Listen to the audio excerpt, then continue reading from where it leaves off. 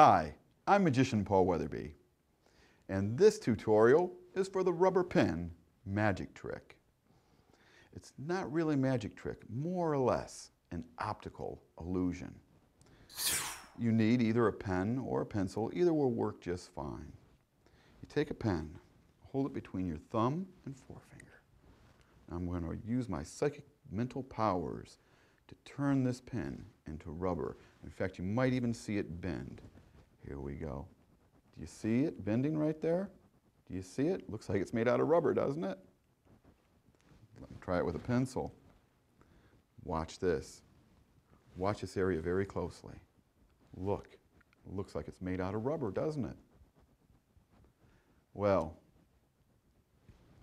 this is the secret. Like I said, it's not a trick, more or less an optical illusion.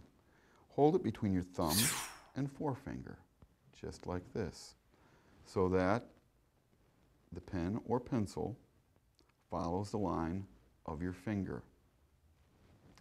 Then just relax your hand and wiggle the pencil up and down. This creates the illusion that it's made out of rubber. The reason this does it is because in your vision center in your brain, in your occipital lobe, your brain processes visual information at 32 cycles per second. That means every second there are 32 snapshots going off in your visual center. When you're wiggling the pen or pencil up and down like that,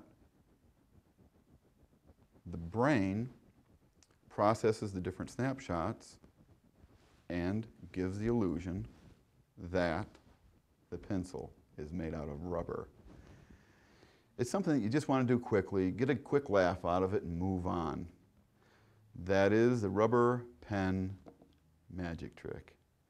I'm Magician Paul Weatherbee. Check out weatherbeemagic.com. Rock on and keep your magic strong.